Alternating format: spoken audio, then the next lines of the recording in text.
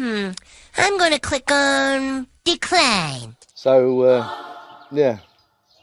Really, I mean, with as, as the way I see it now in the world, yeah. You know, it's just when are the police going to wake up? Because the police need to wake up as, as much as the people need to wake up. Because the police can only do what they're told to do. Yes. What? You don't say. You don't say. Fortunately, the pe- you to do, Cook, was the people to say, uh, sorry, uh, I didn't give you consent to speak to me. You need to uh, pay attention. Uh, no.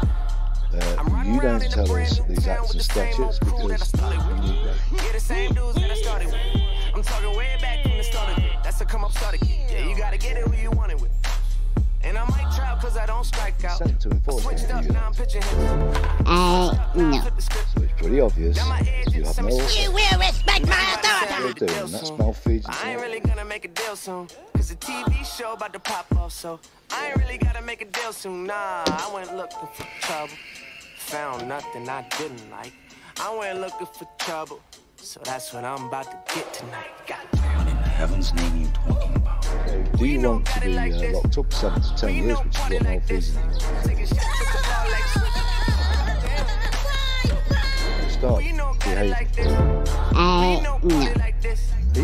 You start behaving unless with, um, uh, have you given your consent to have these acts and The size of statutes the in place? checks you would What a that I was still 42 playing carat plonker you really are! That would be a courteous way, wouldn't it. Now, the first thing to do in domestic disturbance cause like this one is to just calm everybody down. Respect my authority! Because if they haven't given you consent, well, What? who it would apply to is all the people that's working within that corporation. No.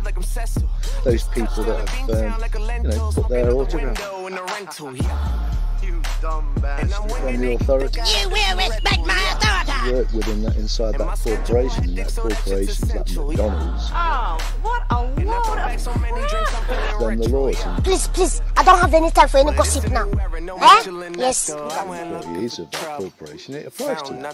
It does not, however, apply to the people outside the What corporation. I'm not in the corporation. I don't believe it. What a plonker. What a plonker. I'm not in the fiction. I became into the fact, and now I'm out. That's The difference, and that's all it takes. It's just mindset. I've been going up quite a few It's just the flights. mindset. Nah, I It'll ain't take you a long time to but get you there. might. Took me a long time and to get there. I'm still, I'm still getting keep there. that shit red and blue lights. Taking bottles to the face like I'm So you're, nice. you're a Yeah, bundle. that's that shit that I. It Nah, was, I ain't gonna was tricked out of might. you. You right. Alrighty then. Your um, certificate with the with the person, You wally. the legal fiction. You're an idiot. Turn my life into a That's where lifestyle. the money That's was. my life This now. is your Got people tatting up their skin with every word I write down. Got me like, You wow. just I discharged. guess I'm the one So to keep an eye dumb. You are really dumb. For real. You don't want anything more. 'cause We're here to we're here as caretakers to this man. Stop it.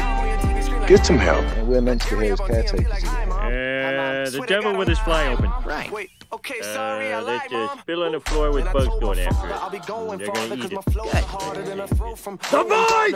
This isn't fair! How can you tell who's sane and who's insane?